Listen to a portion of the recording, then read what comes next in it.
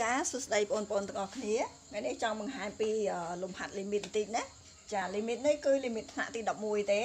limit x ខិតទៅជិត2 x ដក2នៅលើ x គីបដក8បើយើងជំនួសចូល2ដក2 0 2គីប8 8ដក8 0 limit ហ្នឹងយើងហៅថា limit ដែលមានរាង0ឬ0ដើម្បីកណនី limit នឹងបានយើងទៅប្រើតាម a គីបដក b គីបដែលស្មើ a ដក b កតា a ក្រេបូក ab បូក b ក្រេហេតុអីបានយើងប្រើហ្នឹងពីព្រោះលេខ8យើងទៅសេទៅជា2គីប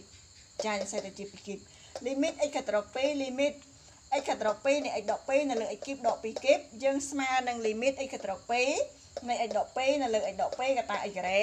បូក2គុណ x គឺ 2x បូក2ការ៉េ4ចាយើងសម្រួល x ដក2ចោលមកអញ្ចឹងវានៅសល់1នៅលើជំនួសកន្លែងនេះដល់លេខ2ទៅជា2ការ៉េ2គុណនឹង x ចាតែ x យើងស្មើ2ជំនួសចូលទៅទៅជា2គុណនឹង2បូកបូក4ចានេះ4បូក4បូក4អញ្ចឹងចម្លើយ limit របស់យើងគឺស្មើនឹង1នៅលើ10 12ចាអរគុណ